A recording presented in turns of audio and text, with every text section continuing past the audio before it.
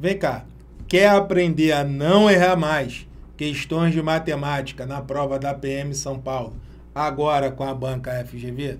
Se a sua resposta for sim, vem comigo que esse vídeo é para você. Eu sou o professor Marcão, especialista na área de carreiras policiais. Uma boa noite a todos e seja muito bem-vindo e seja muito bem-vinda a essa aula, onde eu vou te mostrar que é possível usar a matemática a seu favor no concurso da PM São Paulo. Então, então já me apresentei, sem querer corococó, sangue nos olhos, caneta e papel na mão e simbora.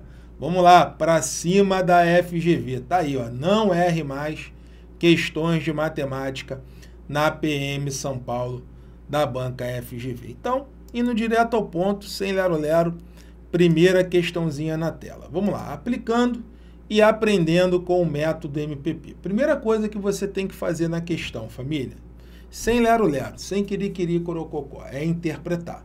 Primeiro você interpreta, depois você resolve. É assim que nós ensinamos lá no nosso curso. Não tem como você ficar 5, 6, 7 minutos numa questão.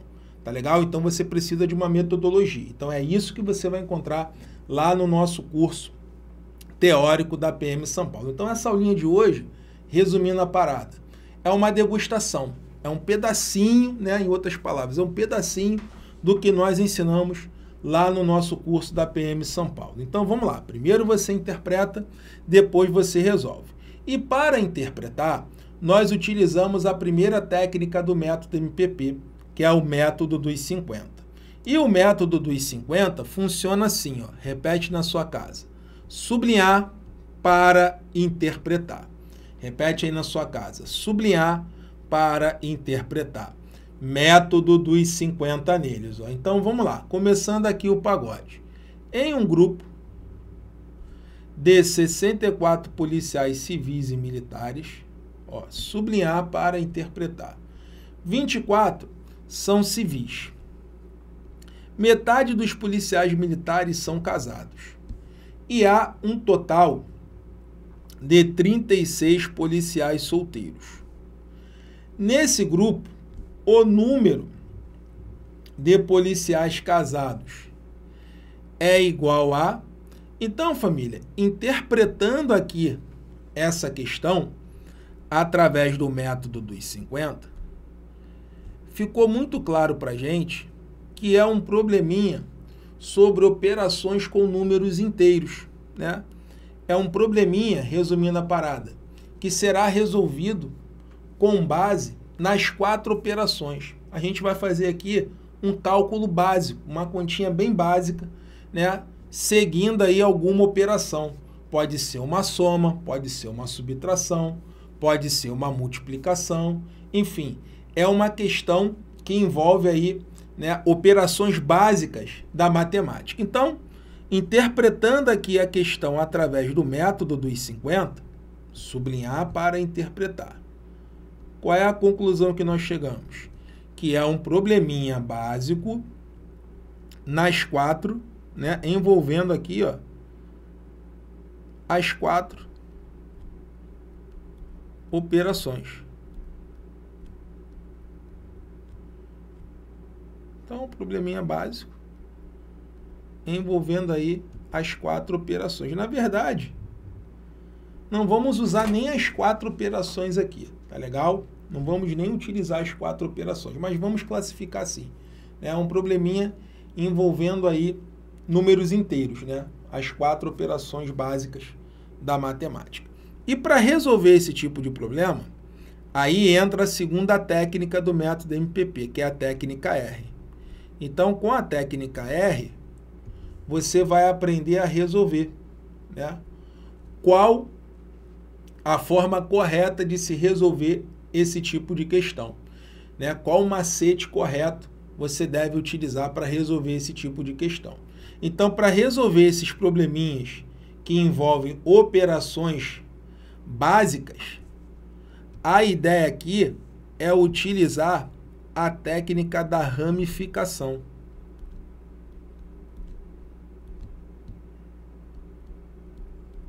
Marcão, que loucura é essa ramificação? Repete aí na sua casa. Ramificar para organizar. Então, o bizu aqui é você organizar. Porque, vamos ser sinceros, as quatro operações todo mundo sabe, né? Todo mundo aí sabe somar, subtrair, multiplicar, dividir, todo mundo sabe, né? Agora, o pulo do gato aqui é a forma correta para se resolver. Então, qual é a ferramenta que eu vou utilizar aqui? A técnica da ramificação. Repete na sua casa. Ramificar para organizar. Olha como a técnica da ramificação vai ajudar nessa questão. Vamos lá. Ó. Qual é o total? Começa sempre pelo total. Qual é o total de policiais? 64. Aí eu vou ramificar. Ramificar é separar o problema em casos, tá? Ó, eu tenho aqui 64, não é isso? Só que eu tenho policiais civis e eu tenho aqui policiais militares. Aí ele fala que desses 64, 24 são policiais civis. Aí começa as operações básicas, ó. Se 24 são civis, quantos são militares? Aí eu vou fazer uma operação básica aqui, ó. 64 menos 24 vai dar quanto?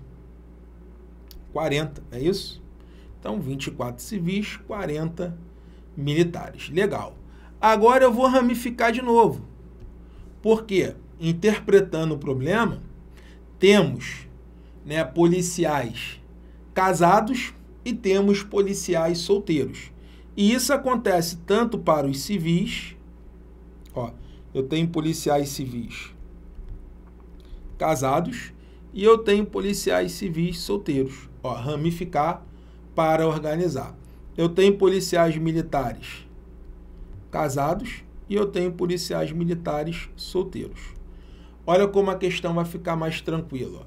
Ele fala o seguinte aqui, ó metade dos policiais militares são casados. Então eu tenho aqui 40 policiais militares. Tá? Então a metade. Qual é a metade de 40? Ó, aí eu vou fazer uma operação básica, ó. 40 dividido por 2, ó. Isso daí vai dar quanto? 20.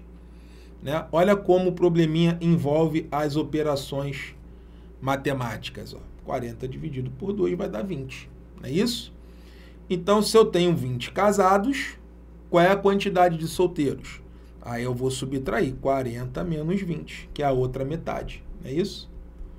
Então, eu tenho 20 policiais militares casados. Consequentemente, eu tenho 20 policiais militares solteiros, né? Que seria a outra metade. Legal. Beleza. Agora ele fala o seguinte, ó, há um total de 36 policiais solteiros.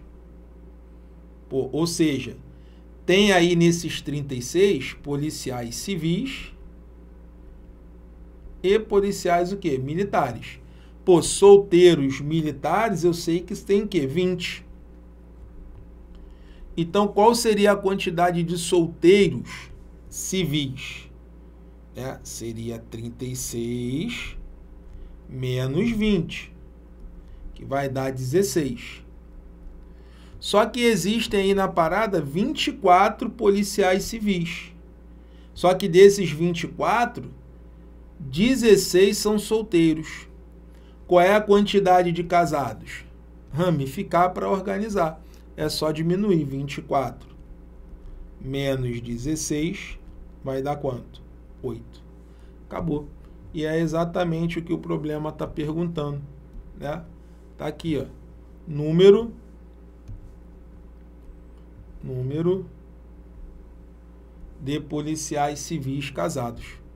Não, seria quanto? 8. Olhando ali as opções, gabarito, letra A. Legal? Marca o V da vitória e vai ser feliz. Então, é assim que funciona o método MPP ramificar para organizar. Primeiro você interpreta, depois você resolve. Legal? Vamos lá. Próxima questão na tela, também da FGV, tudo questãozinha recente da FGV.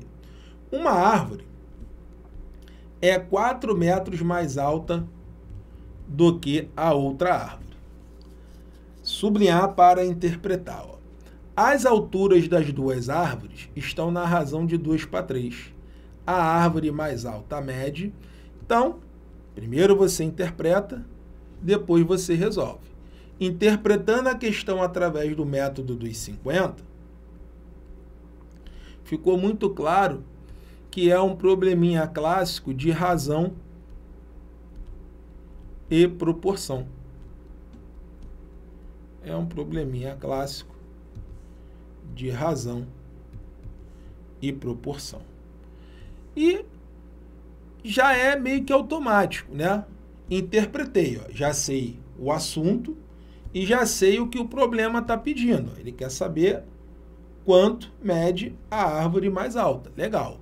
Então já tenho aí metade da questão, por isso que o nome é método dos 50. Eu já sei qual é o assunto e já sei o que o problema está pedindo. Legal. Agora vamos lá. Qual é a forma correta de se resolver esse tipo de questão? Aí entra a segunda técnica do método, que é a técnica R. Né? Então, com a técnica R, você vai aprender a resolver esse tipo de questão. E qual é o macete que nós utilizamos para resolver esse tipo de questão?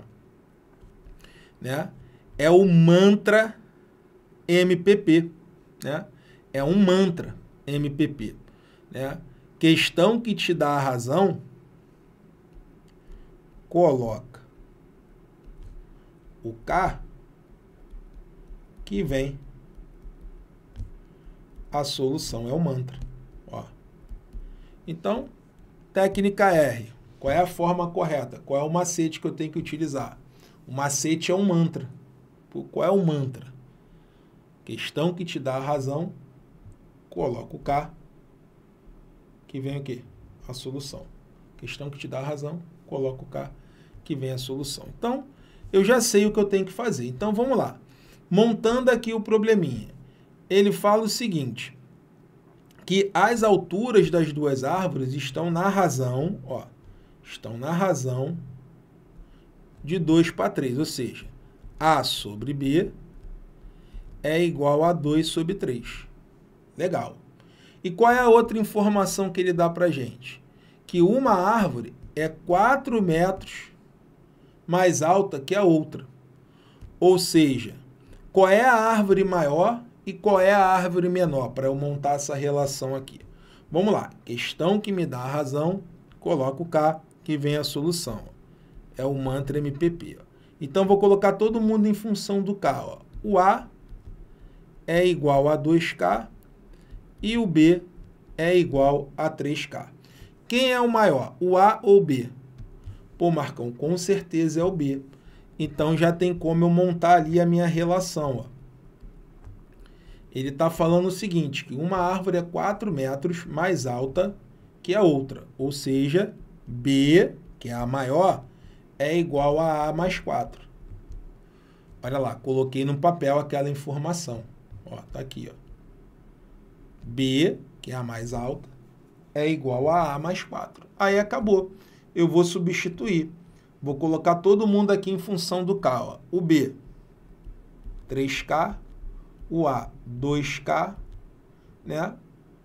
E aqui o 4. Então, 3K é igual a 2K mais 4. Acabou. Fatality. 3K menos 2K é igual a 4. K é igual a 4. Então, se eu tenho o valor de K, eu tenho tudo. Como ele quer aqui, né? A altura da árvore mais alta, então ele está querendo a altura da árvore B.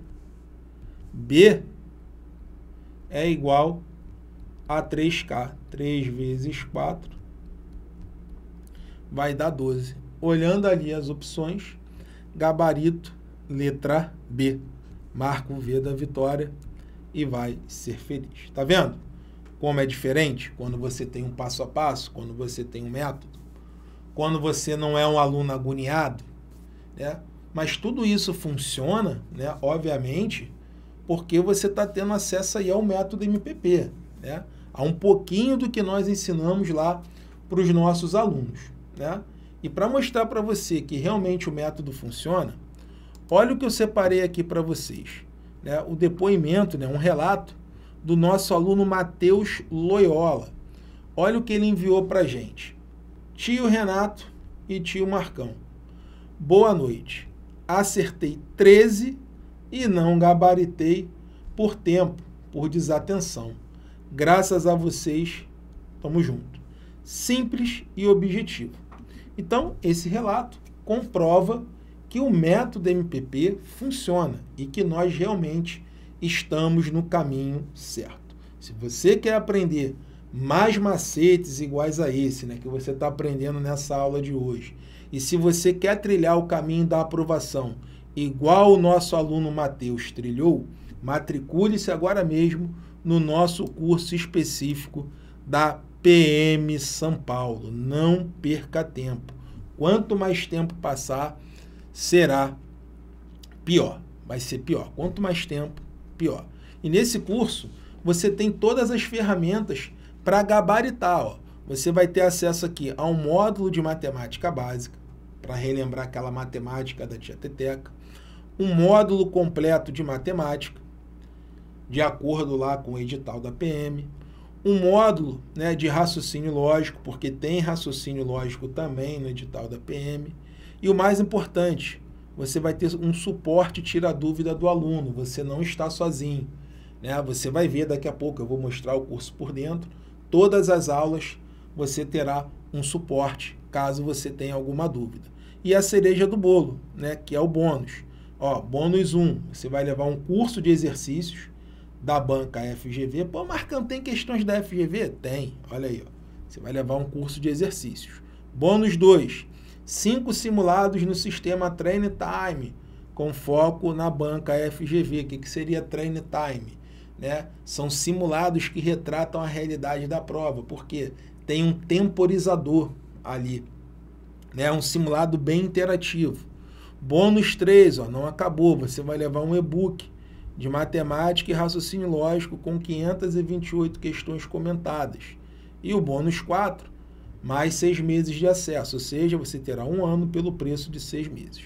Então, a matemática aqui é muito clara, né? Continha de padaria. Você vai somar aqui tudo isso e esse seria o valor do seu curso, né? Então, seu curso sairia por mais de mil reais, mas hoje você está levando tudo isso com descontão e pagando apenas 12 de 26,58. Legal?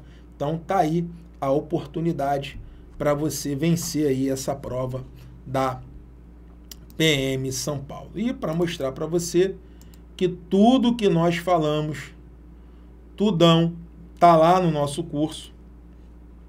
Eu vou mostrar agora o nosso curso por dentro para vocês. Legal? Eu vou mostrar agora aqui o curso por dentro para vocês. Deu um chabunzinho aqui, faz parte, mas está aqui o nosso curso.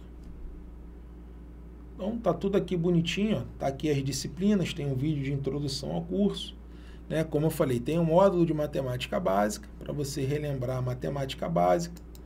Aí você vai clicar aqui, ó, vai aparecer a sua aula material, né, o resumo, material, e lá no final, o mais importante, o suporte. Né? Você vai clicar aqui, adição, subtração, vai escrever a sua dúvida, se tiver alguma coisa para anexar, você vai anexar e vai enviar. Puf. Acabou.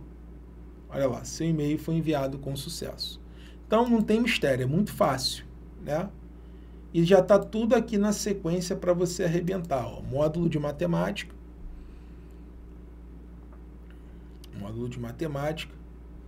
Tá aqui, ó. Média aritmética. Você vai clicar, lá vai ter a aula, o material e lá embaixo o suporte, né? Então todas as aulas seguem esse padrão, tá? Segue esse padrão. E aqui é o SEX. Marcão, mostra o SEX pra gente. Tá aqui, é o curso de exercícios.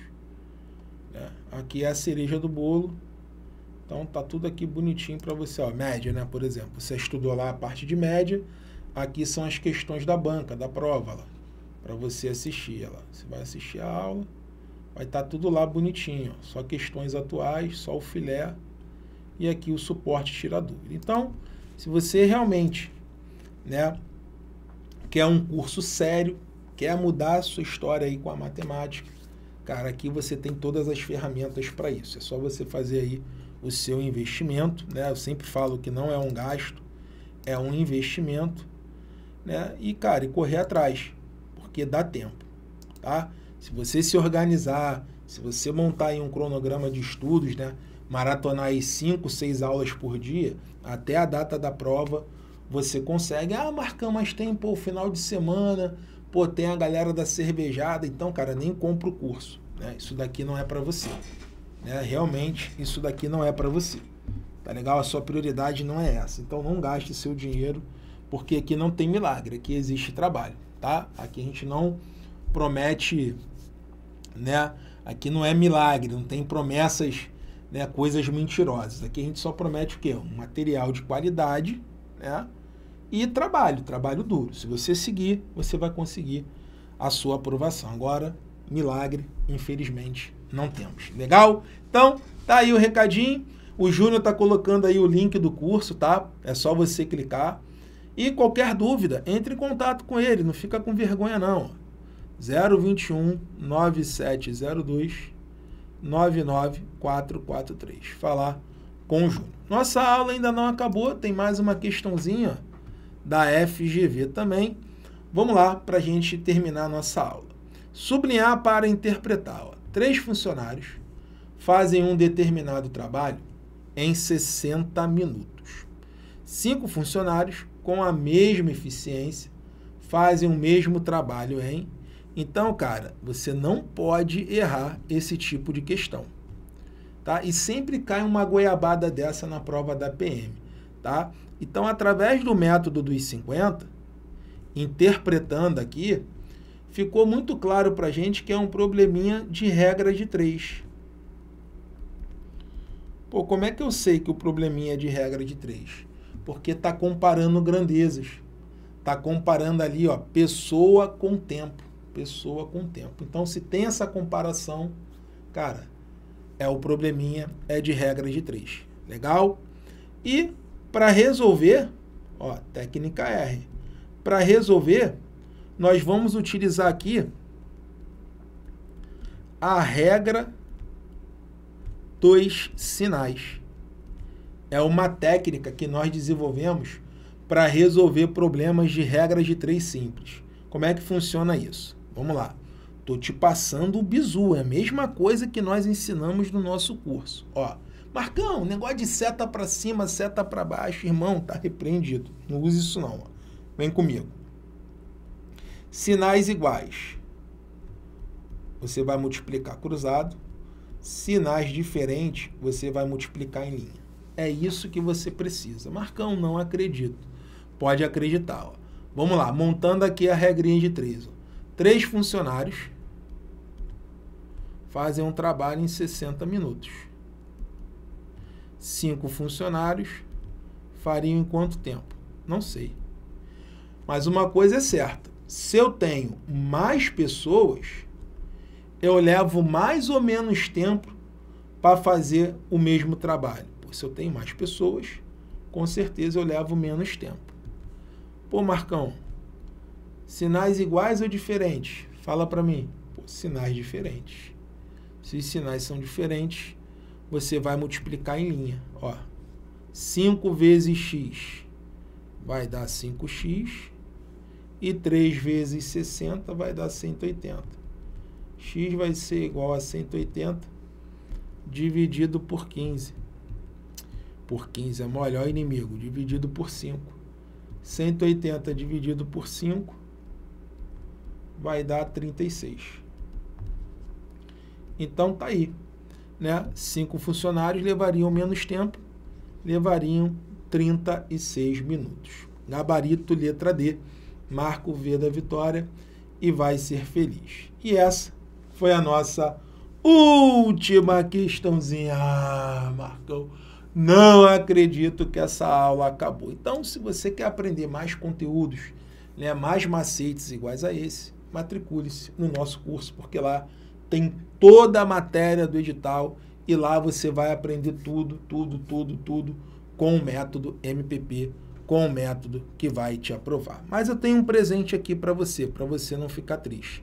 Quer ter acesso ao resumo dessa aula? Entre para o grupo VIP da PM São Paulo. Daqui a pouco vamos disponibilizar esse material para vocês. E lembre-se que o estudo é a estrada que levará você onde deseja chegar.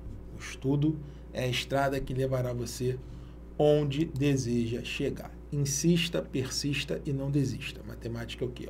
Para passar. Valeu, família. Um abraço. Tamo junto. Valeu.